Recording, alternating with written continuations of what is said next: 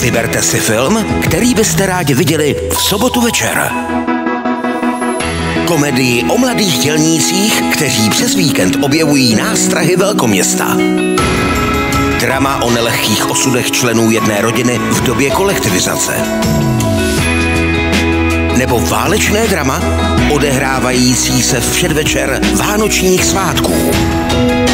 Lvy salonů, tři dcery, nebo tenkrát o Vánocích. V sobotu večer sledujte film na přání. Hlasujte na csfilm.joj.cz